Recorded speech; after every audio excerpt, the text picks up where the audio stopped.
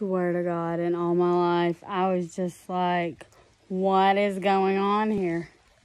I'm walking by. We got a drain connected to a drain. Drain, drain, drain.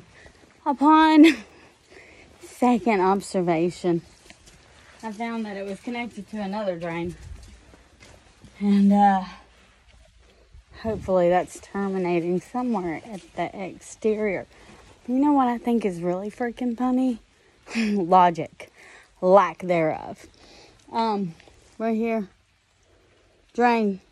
You got drains that terminate right here, still at the foundation, but yet you're trying to take this one and make it. Really, bruh? Okay, and for some of y'all who don't know, the reason why that's important, come on, throw me a bone. Why can't I get a good crawl space one time? Um, but for those of y'all who don't know, it's like if you have your downspouts here anywhere near your foundation, you're going to have movement because we're on that red clay and it likes to expand so much when it's exposed to rainwater. Look, swear to God.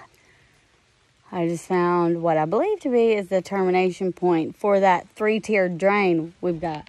And it's still right here at the freaking foundation. And I'm telling you, whoever did that, you should be shot in the face with a BB gun or a pellet gun or a freaking, I don't know, something.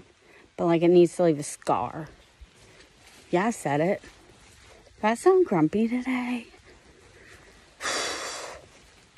It's been one of those days. I'm typically not grumpy. I'm typically very happy, go lucky.